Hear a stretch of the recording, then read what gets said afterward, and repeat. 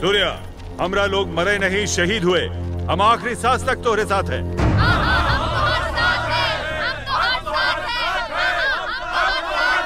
ये लड़ाई मेरी है। आपका इस लड़ाई से कोई ताल्लुक नहीं।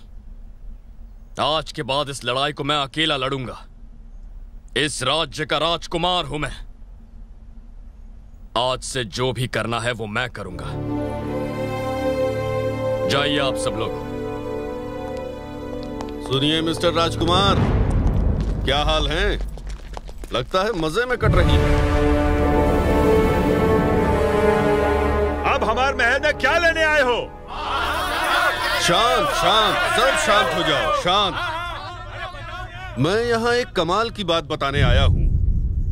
ये आदमी जिसे तुम अपना राजकुमार समझ रहे हो दिल्ली की सड़कों का एक अनाथ है।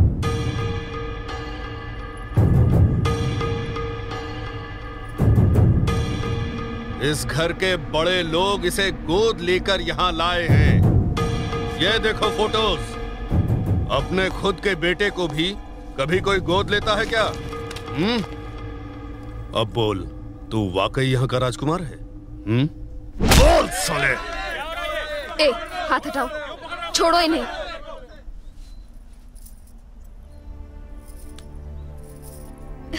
मेरी कसम खाकर कहो। कि ये झूठ बोल रहा है तुम ही मेरे सगे भाई हो।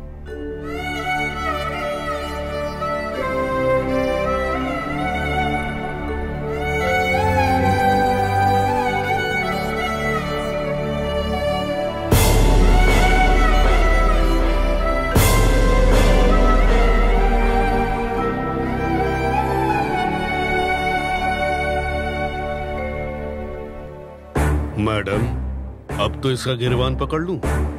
चल साला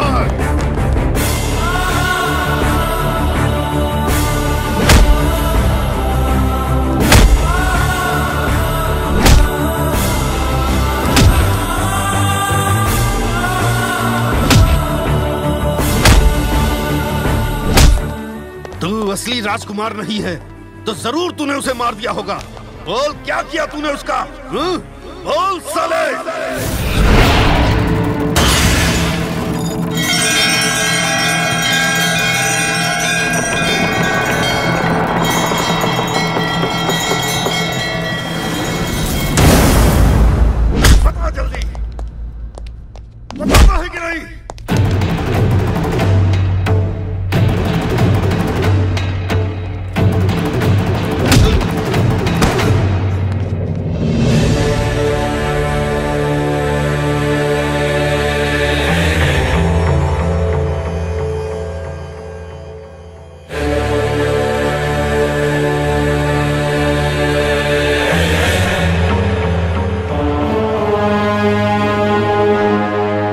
इसने तुम्हारे बेटे को मारा। है पच्चीस साल पहले जब हमारा बेटा पैदा हुआ था, तब वो मरा हुआ था।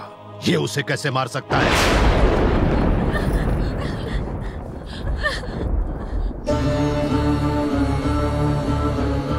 हमने अपने सभी लोगों से बोल दिया था कि हमारा बेटा ज़िंदा है। पच्चीस साल बाद वो आएगा। हम तो उसी दिन मर गए जिस दिन हमें मरा हुआ बेटा पैदा हुआ था। फिर जिस दिन हमारे शत्रु ने भीख में हमें जीवन दान दिया था। पच्चीस बरस बाद तेरा बेटवा हमसे लड़ने के लिए आएगा, यही बोल रहा था ना तू? मैं उससे मारूँगा तेरे सामने और तू उसका क्रियाक्रम करेगा। तब तक ना तो हम तुझे मारेंगे और ना ही खुद को मरने देंगे।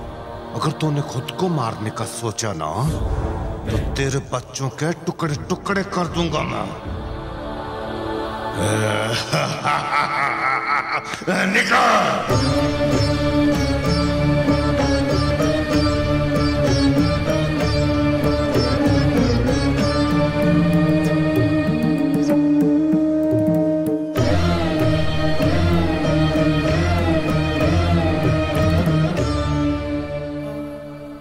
सब लोग यहाँ बाहर हर बरस हमारे बेटे का जन्मदिन मनाते रहे। और हम वहाँ अंदर हर बरस उसका श्राद्ध मनाते रहे। हमने ये सोचकर आप सबसे झूठ बोला था कि एक दिन ईश्वर कोई मसीहा भेजेगा। भगवान ने इसे भेज दिया। खून का रिश्ता सब कुछ नहीं होता। प्रजा का रक्षक ही सच्चा राजकुमार होता है। कौन कहता है ये तुम्हारा खून नहीं है? दामाद जी, यही तुम्हारा बेटा है। एक बाप के लिए सबसे मुश्किल होता है अपनी लाडली बेटी की आँखों में आँसू देखना। तुम बिल्कुल चिंता न करो बेटी, देखना तुम्हें बेटा ही होगा। नहीं बाबा, हम चाहते हैं कि हमारी बेटी हो। इस लड़ाई ने हमें सिर्फ़ दो चीज़ें दी है, आँसू और दुख। अगर हमने बेटी को जन्म दिया तो वो राक्षस उसे भी नहीं छोड़ेगा। अब हम और दुख नहीं सह सकते। बेटी होगी तो हम उसे देखकर जीत तो पाएँगे। हमारे इस क्षेत्र के लोगों को ऐसा राजकुमार चाहिए था जिसे दुश्मन ना मार सके, बल्कि जो दुश्मनी को हमेशा के लिए खत्म कर दे, जो मरने मारने में विश्वास न करे, बल्कि जियो और जीने दो में विश्वास करे। यहाँ का हर लड़का सिर्फ़ दो ही चीज़ सीखता है, मारो और मरो। जब तक उसे यह पता नहीं चलेगा, जीवन क्या होता है भूख क्या होती है? कठिन परिश्रम क्या होता है? आँसू क्या होते हैं? एक परिवार क्या होता है? दुख क्या होता है? जीवन का असली मूल्य क्या होता है? ये मूल्य सिर्फ़ एक अनाथ ही समझ सकता है। शाही खून जब अनाथों जैसे पलता है तो वो संघर्ष की आग में तब के कुंदन बन जाता है। जिस लड़के को चांदी के प्लेट में खाना मिलना चाहिए था, वो पत्तलों में खाना खाता रहा। जिस बच्चे को रेशमी बिस्तर में चैन से सोना चाहिए था, वो फुटपाथ पर सोता रहा। ये सब देखकर हम खून के आँसू रोते रहे। आम आदमी भी जीवन में इतनी मुश्किल नहीं झेलता। तुम्हें एक सच्चा और शक्तिशाली बलवान बनाने के लिए हमने ये सब किया। पर हमने कभी तुम्हें अकेला नहीं छोड़ा। इस लड़की को जानते हो ना तुम? इसको भी हमने भेजा था। हमें माफ़ कर देना, बेटा। हमें माफ़ कर देना। हमें माफ़ कर देना।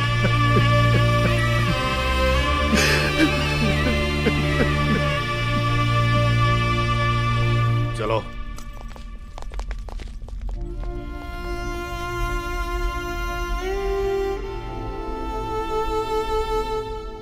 तुमने अपने बच्चे का बलिदान दे दिया।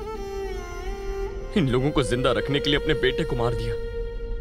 और तुम खुद रोज तिल तिल मरती भी रही।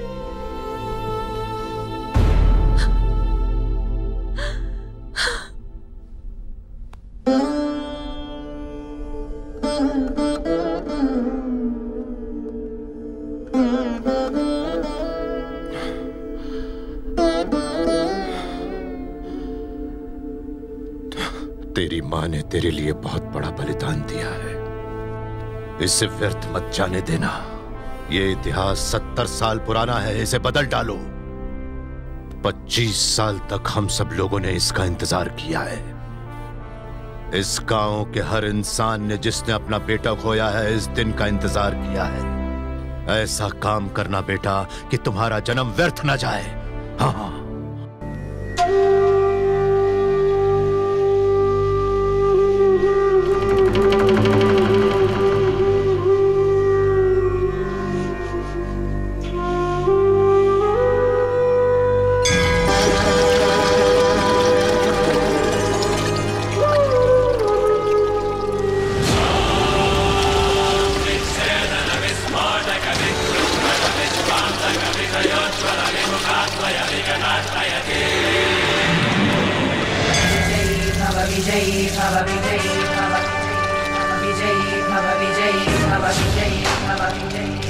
विजयी भव विजयी भव विजयी भव विजयी भव विजयी भव विजयी भव विजयी विजयी भव विजयी भव विजयध्वज श्रीसिंहा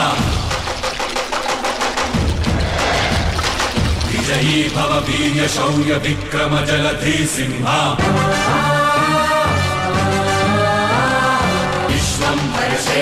प्रतिशिकंस हरिपुञ्जन रणरञ्जन